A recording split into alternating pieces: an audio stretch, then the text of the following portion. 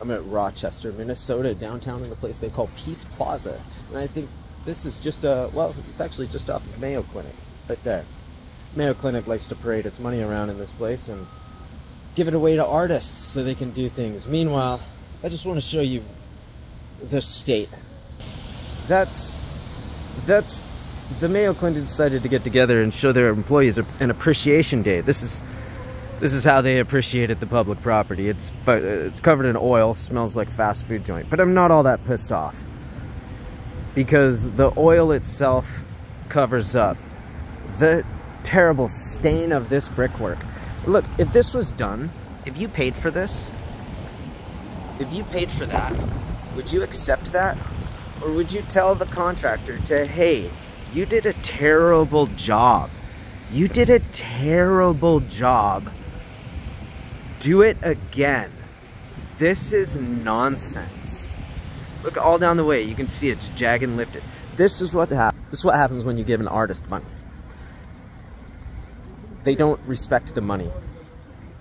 And especially when you give an artist money to do a craft. They're not proficient at their craft. And they have no right to perform the art with it. I'm going to show you what a craftsman does. This. This. This. That's what happens when you give money away to artists. You don't understand the craft. They're just playing. This is what happens when a company, when a business has to hire employees, has to bid on a job, has to do it correctly because they're held to an account. They are craftsmen. This is capitalism. That is your money given away to socialist government. Bad paving work, art over craftsmanship. This is actual paving work. Flat. Because somebody had to pave it, because somebody had their money on the line for it. Somebody had to bid for this job.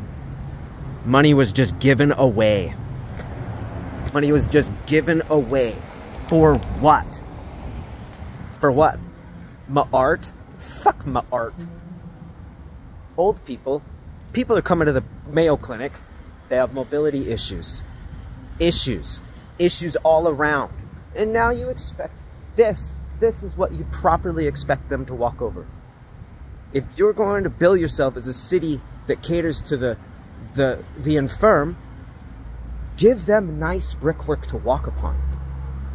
That art, art is a stain. Literally now. Literally. But is a stain.